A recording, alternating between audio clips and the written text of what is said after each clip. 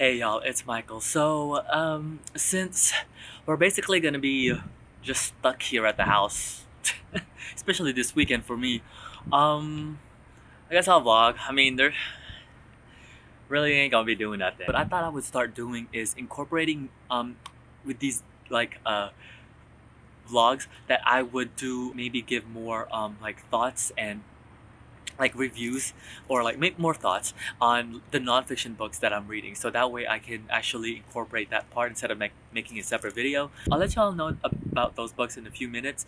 Um, right now, me and Mayel, we're just gonna go hang out in the front yard. Basically, long story short, um, we can't really go anywhere. I posted something on my um, um, Snapchat and my um, Instagram story the other day, and people thought we were at the park. First off, we are not going to the park, okay? That's like awful to go right literally at the park right now. In this time, no. Um, it was just actually my front yard. we actually have a pretty big backyard and a big front yard, so some people thought we were at the park, and I was like, no, we're in our front yard. So yeah, actually, now I think about it, making this intro, she's taking a while. Uh, using the restroom. I'm gonna go check and make sure she washes her hand, hands, because sometimes you know you gotta tell them that. Ooh, y'all, this is beautiful footage. Look at it. Ooh. Hey, who? These are my friends. Your friends? Yeah. There's no one. Wait here. That's enough. Uh uh Can you give me my drink, please? What the? What's that? Me with skinny legs. Wow! What? Did you say I have skinny legs?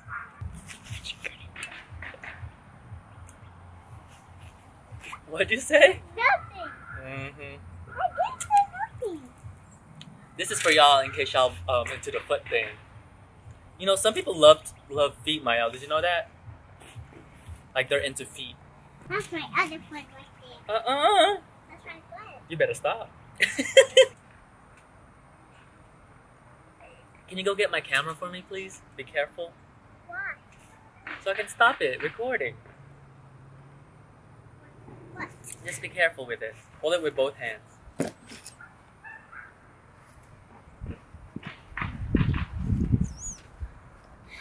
Thank you. Yeah, get those so you can blow it. Ready? Wow. Oh my goodness. oh my gosh. You should have. Now do another one. Oh, there's one right there. Where? Oh, right there.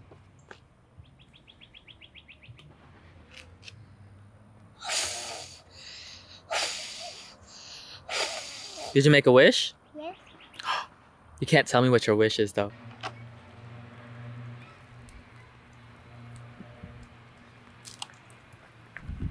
I'm right behind you. oh my god, yes! Thank you! Tell her domo arigato! Salamat po! Y'all, this thing is so good. Like, huh?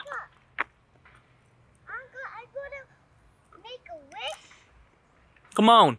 Y'all, this thing is so good. Yes. Pose, pose for me. Oh my god, y'all. These these pictures I just took right now are just so beautiful. Yes. Your mom does that. We're back from just walking around the neighborhood just because we can't really do anything. So I thought I would talk to y'all about the books I'm going to be reading this weekend. Uh, so first off, I am still reading every once in a while the Brothers Karamazov. As you know, I didn't bring it out here because I was just like, I mean, you know, I'm reading it. Okay, so I'm also reading for my short story collection currently right now, How Long Till Black Future Month by N.K. Jemisin. I am really happy that I went to the library before it's closed so I can go get like books because I actually don't have a lot of short story collections um, in my personal library. So it was a godsend. They're extending all the um, the due dates. Well we don't have fines at my library but they're extending the due dates for all of them so I was like thank you thank you. So yeah I am doing a short story collection review on this uh, so check it out whenever that is. Um, it's, pretty good pretty good. The nonfiction that I'm currently reading right now I'll talk more about this in a minute is um, The Undying by Anne Boyer. I did currently finish um, The Yellow House by Sarah M. Broom. I'll talk more about this because I feel like there's so many distractions. There's the lawn mowing, people walking around, there's bees everywhere. But um, currently, The Undying by Anne Boyer. This is actually really interesting. Um, this is about Boyer who basically was diagnosed with um, breast cancer. Um, and so she's this is basically essentially a memoir. The thing though is it is written really different. I have actually never read a nonfiction like this. It's written in this very like poemish verses way. Um, I'm actually liking it. Like it's I, the thing though is I could tell this will not be for everybody. I can tell you that now. But I just really like the the verse aspect of it. Uh, so yeah, I'm gonna keep reading it tonight. Good morning, first off. Basically, this morning, um, all I did was file my taxes, and then that's about it. So, and I took a shower. that's about it. Nothing special here.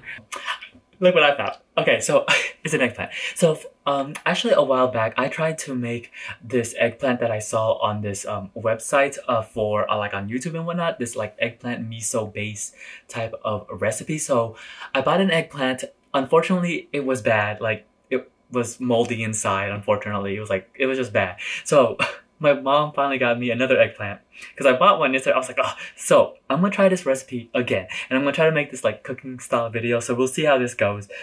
I'm gonna play around. It could be technically vegan because everything here is um yeah, it could technically be vegan. Okay, good so far.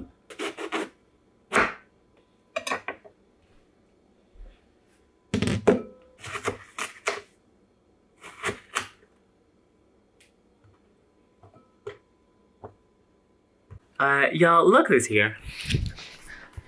What and you? Oh, okay. Where are you going? Nowhere. Get inside. Oh, I was like, come in. Okay, then bye. Wow, this is nice.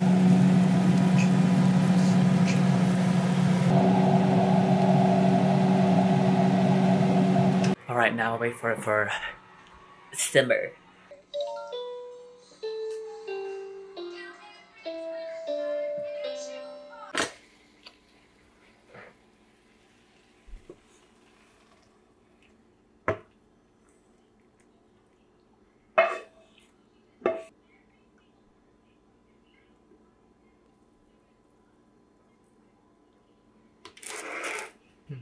Okay, here we go. So like I also put some um like a chili sauce on top. I'm gonna eat it with rice obviously because duh. Maybe might need some more chili sauce. Hmm.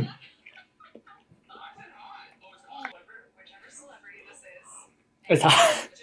It's hot. Mmm. Mmm. I first thought that was too salty, but I think the chili sauce really did something to it. It's actually pretty good. Want to taste it, Misha? I'm gonna watch Little Fires Everywhere now, huh? Oh yeah. She can't. She, she might be. She's pregnant.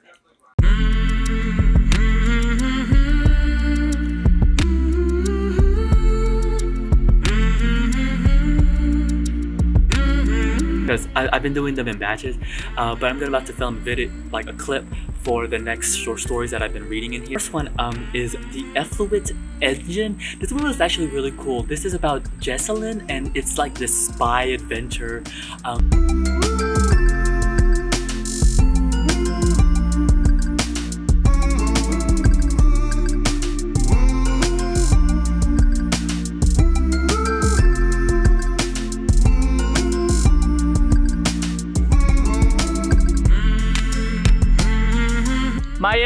over there? Do I hear you? Oh my goodness. I'm using my camera to see over the fence. What are you doing? There they are. Y'all see them? Y'all see these kids? Mayel, get down! Be careful. Hi, bye bye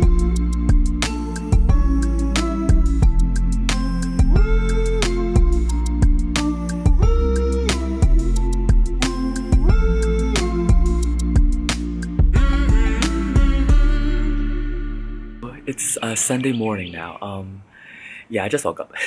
I did read uh, for a little bit, um, but I thought today I would just basically, well, I'm staying at home, but I need to shave. Uh, it's getting a little rowdy right here, so I need to shave because it's, it's a little. mm. And apparently, I think like hair salons and barbershops and stuff are closed, so I need to see because I can feel my hair is like about it's about to grow fast because my hair grows fast in general. But yeah, I think that I'm gonna take a shower, cook some breakfast. That's about it. Nothing really today. Quarantine life. All right, so I made some lunch. Um, it was like one of those box pasta type of things. Now, is this for one person? I don't know because this bowl, y'all, it's pretty big. it's like a huge bowl. Um, yeah, I'm gonna eat it all though. I'm really hungry for some odd reason. Of course, with some sweet tea, and I put a lemon in there. Now, I'm watching this show called Ares. Um, I started watching it a while back because I saw some people posting about it, and it was like, oh, it's really scary. Um, it's not. Like I've seen more scarier stuff, but I'm just gonna finish it. I've only got like three more episodes left, so yeah, just about that. And then afterwards, what if I'm gonna read? I'm gonna read afterwards. all right, y'all. So um, all I've been doing, well, I read for a couple of minutes, and then I watched some TV, but washed some dishes. That's about it. Nothing really special. Um, as you can tell, in kind of here, uh, it's raining right now, so it's like really low key. Nothing's really going on. Um, it's just one of those lazy rainy days, and it's even more exaggerated because I can't go anywhere. So yeah, right now what I'm gonna do is actually film like the next clip for um, my review for this short story collection, and then afterwards I was thinking of actually just editing. Um, I need to catch up on my editing. I'm really behind on it, so that's what I'm gonna do afterwards. And then after that, I think I'm gonna start I don't know, dinner. Afterwards, I'm gonna watch my Sunday shows, which I really love because Westworld, love. And then there's Real Housewives of Atlanta. And then afterwards, um, there's this show on there called uh, Family Karma, which I really like. Like, I don't know why I like it so much, but it's about um, a group of Indian families in Miami, and it's just about their lives. I just, I don't know what about it. I, I just really like it. It's like funny, but has this dra- drama with the aunties. I don't know. I, I really like it. Look, y'all. Look at the weather. It just.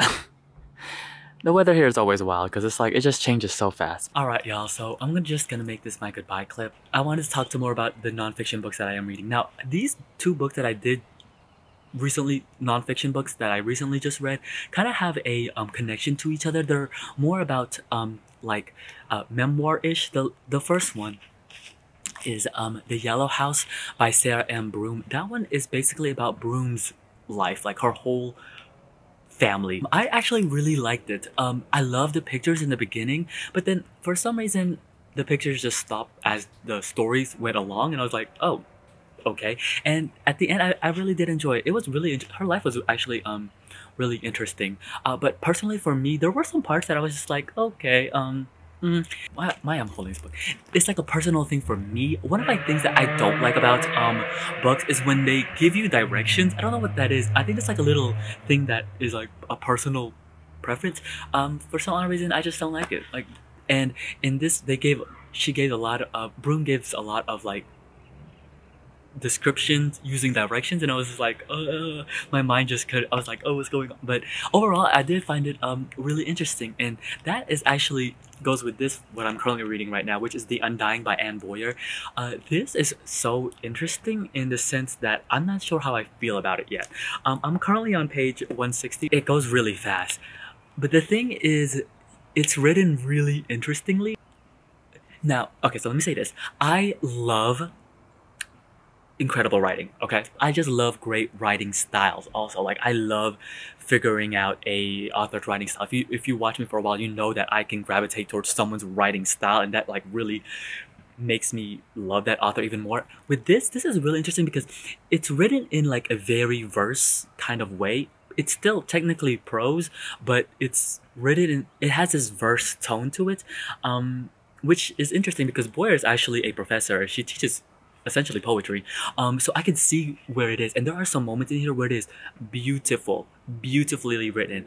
But I think sometimes there are parts in here where it, I feel as though the, the writing style doesn't serve the message or like doesn't actually have doesn't co isn't isn't cohesive enough to the point that um Boyer is making. Like there's some parts where I was like, uh, it's it's like oil and I was just cooking. It's like oil and water. Just I was just like, like it's just like mm, just not meshing well together. That's what I am a little bit fighting about. But the, when it this is one of those books where when it hits, it hits. There are some parts in here where it's like about history, the journey. I guess you, yeah, you, I guess you could call it the journey of having um, breast cancer. I think it is really interesting. Those parts were really enlightening, if anything.